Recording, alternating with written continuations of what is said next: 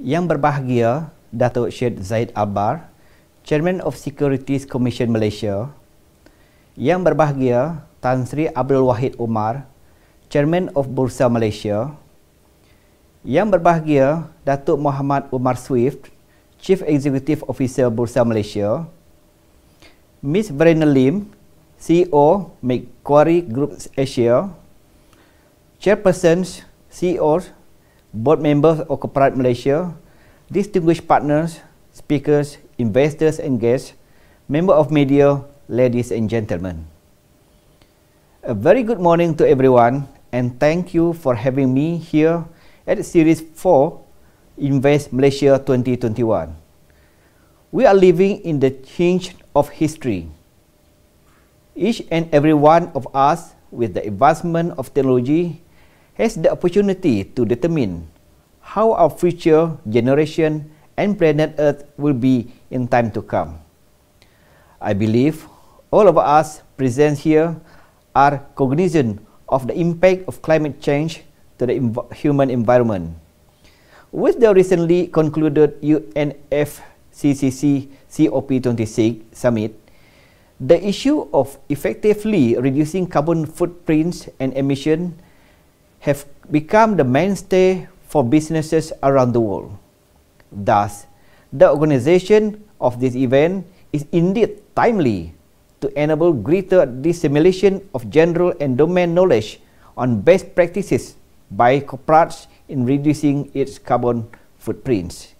It is heartening to see that more and more Malaysian corporations are aligning their business operation with greater ESG commitments. This is goes well with the Prime Minister's announcement for Malaysia to achieve net zero GHG emission as early as 2050. Malaysia had communicated its updated nationally determined contributions NDC to reduce its economy-wide carbon intensity against GDP of 45% in 2030 compared to 2005 level. The 45% of carbon intensity reduction target is unconditional and it is an increase of 10% from the earlier submission. In addition, Malaysia's NDC covers 7 GSG instead of 3 GSG previously.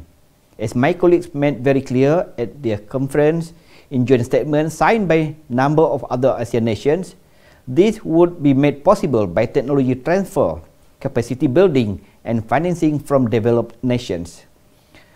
Our aspiration to achieve net zero GHG emission target earliest by 2050, pending the completion of its long-term low emissions development strategy by 2022.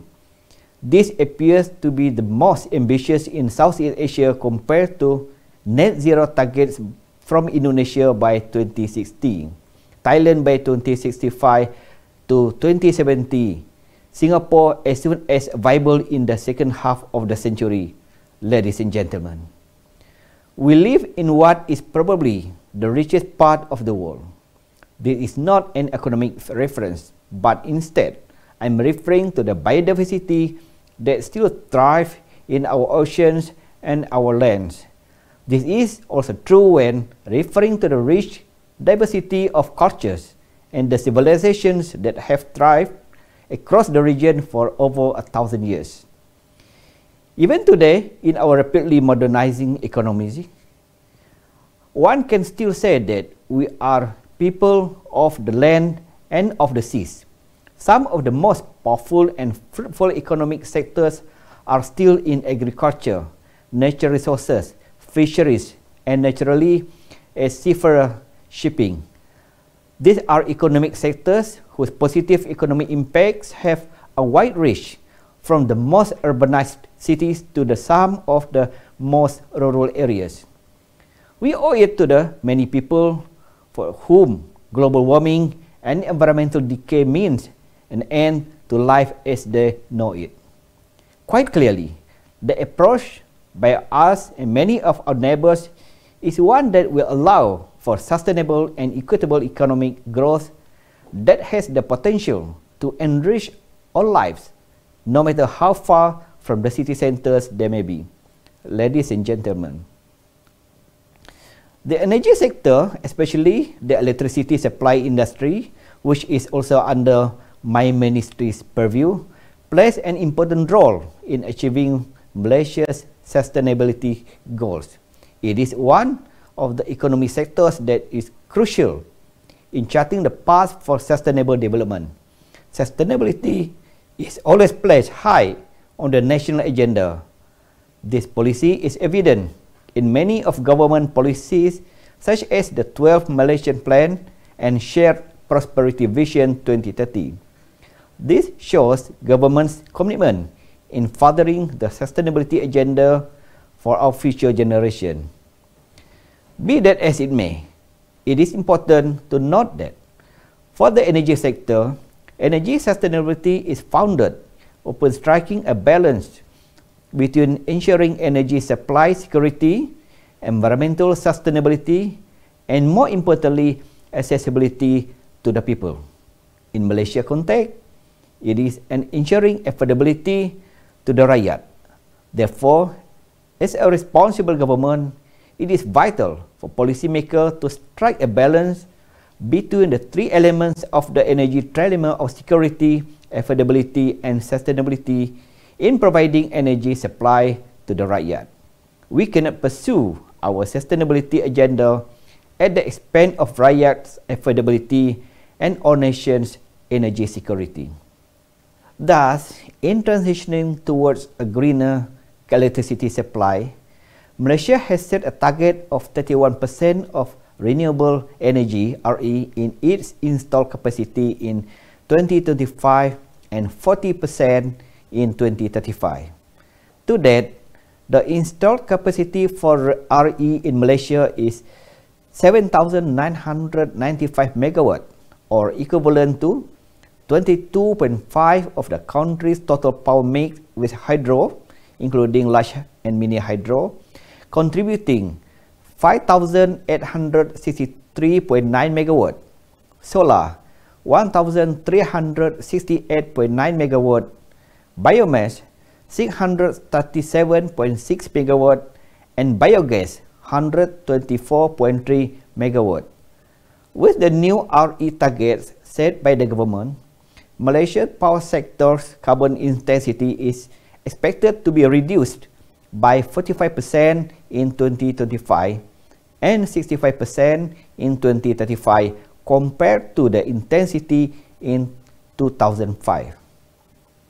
The method target will be achieved through the implementation of various sustainable energy related programs, which including the large-scale solar program, feed-in tariff, self-consumption and net energy metering programs.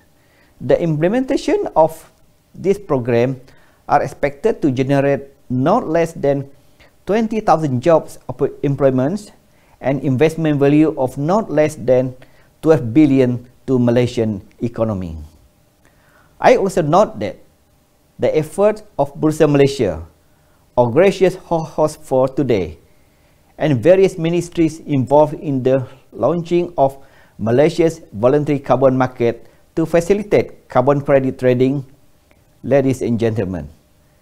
While I have touched upon the environment, the global agreements between nations and support and commitment from the government, I have yet to make mention of an element that is just as critical, the population at large. There is great support from many sectors of the population, particularly the youth, who account for almost half of our population. This support or acceptance is a necessary precondition for the adoption of renewable energy as well as all the technologies that are required to make it happen. The National Youth Climate Change NYCC survey Malaysia revealed that 92% of young Malaysians think that climate change is a crisis. The Pew Research Center's International Science Survey 2019-2020 revealed that around 7 in 10 Malaysians, 73%, place more priority on environmental protection, even if it comes at the expense of economic growth and creation of more job opportunities. While the COVID-19 pandemic raged, the threat of climate change remained at the forefront of their minds. These studies also indicated that for the youth, the opportunity to work in the renewable energy industry or a related green recovery sector was something that is welcome given their natural bias on the issue. Alok Sharma, the president for COP26 believes that every dollar invested in climate adaptation can result in up to USD 10 of economic benefit when Malaysia successfully transforms into a low carbon economy.